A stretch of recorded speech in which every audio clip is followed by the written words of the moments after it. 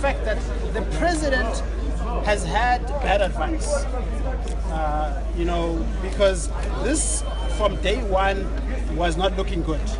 And, and, and, and certainly uh, the amount of money was bound to, create a lot of problems in terms of public perceptions.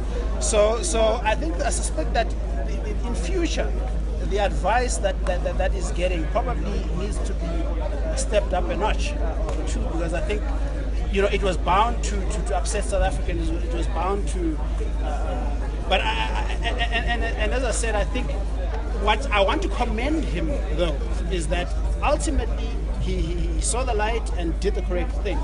And I think that's what something that we, we, we as an institution are very pleased uh, with. But as I said, it's not about us.